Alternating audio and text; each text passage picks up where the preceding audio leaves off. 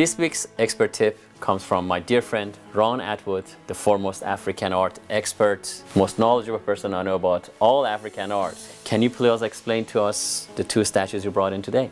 I can, Michael, and thank you for having me here. What I brought today for everyone to enjoy is a set of what they call primordial couples from the Senufo people of the northern part of the Ivory Coast. And what some of you are going to immediately see here is a comparison which is apt to Giacometti and Giacometti's famous sculptures in so many eh, important collections. And here you have an inspiration that in fact did impressed Giacometti. It's not fictitious. He was using African art in much of what he created, especially his sinuous and tall figures. And that's what you have here.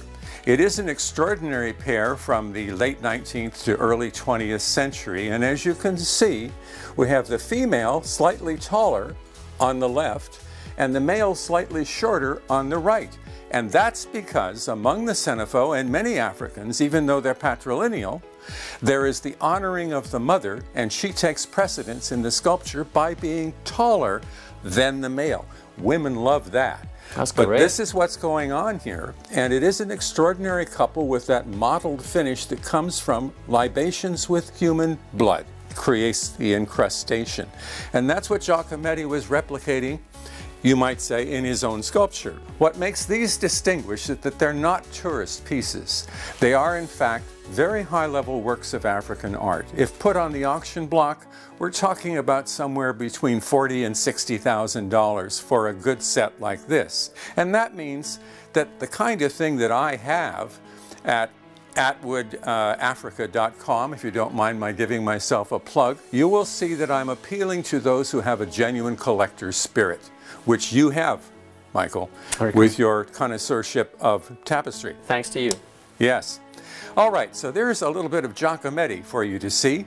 I'm also going to bring in now another figure, and some of you who are familiar with the work of uh, Miro.